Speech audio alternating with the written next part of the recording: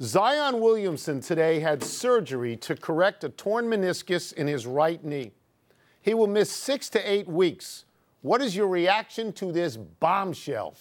It is a bombshell, Tony, and it's just it's it's not tragic, six to eight weeks, okay, but it's a downer to come, you know, on the eve of the start of the NBA season, which does begin tomorrow. And we're all looking forward to seeing Zion in the in the in the pros. Let's face it. But for somebody like me, who remembers Derrick Rose. I mean, it was a little later. It wasn't first year in his career, but he had a knee injury which just changed his career and sort of the, the, that of his franchise. And you look at these knee injuries, when you weigh that much, 285 pounds, and Wilt was about 275 in the old days, those guys operated in a small space around the basket. Now you got 280 pound guys like Zion out on the perimeter, running, cutting, I don't know that their bodies and their knees and feet were made for that. And we're going to find out about space and pace and whether it makes sense at that size. It's just, it's a downer. I don't think you can do anything with this story except comment on his size. He weighs 280 pounds and he jumps higher straight up than David Thompson did. So when he lands, he lands with unbelievable force that has yep. to be absorbed by his legs. Yep. I mean, everybody wants to see him. He's the first guy since LeBron that everybody, everybody is jacked up about, and you wonder what is his long term health. So let's welcome in Adrian Wojnarowski on this one. Adrian, on Thursday, the team said Zion had right knee soreness. Here we are four days later. Surgery for a torn meniscus, out six to eight weeks. What more can you tell us about the team's approach to the injury?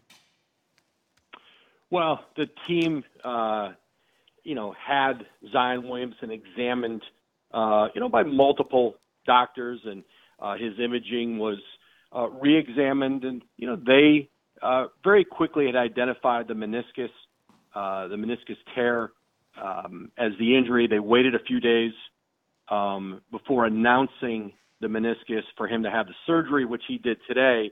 Uh, and there's optimism that he's going to make a full recovery on this injury. There are a lot of players uh, who've had this who come back at full strength uh, immediately, and obviously they're going to be cautious with the timeline on his return. But I'm told, you know, that six to eight week is is going to be the range uh, for uh, Williamson to make his Pelicans uh, regular season debut. It's good that they have optimism, but you have to wonder what the level of concern is at this point about his knees overall, because from Duke to Summer League and now the preseason, this is the third knee problem before playing an official NBA game.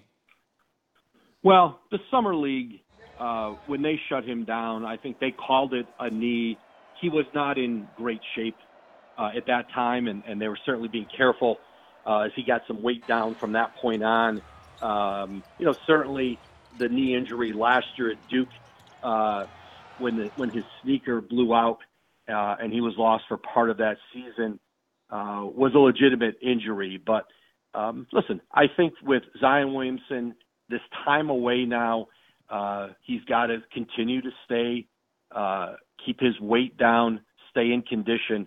Uh, that's certainly been a priority for the Pelicans since they drafted him. He is an explosive athlete. He puts tremendous uh, pressure uh, on those uh, lower the lower leg areas, the knees, and you know that's going to be something as an organization uh, they know they've got to monitor with him, and, and this is a highly motivated player, a disciplined player, and uh, I don't think there's any question uh, about his willingness to do what he needs to do over the next six weeks to two months uh, to come back healthy.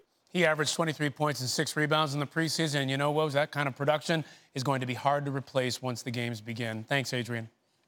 Thanks, Ryan. Thanks for watching ESPN on YouTube. For highlights and analysis, check out the ESPN app and for live streaming and premium content, check out ESPN Plus.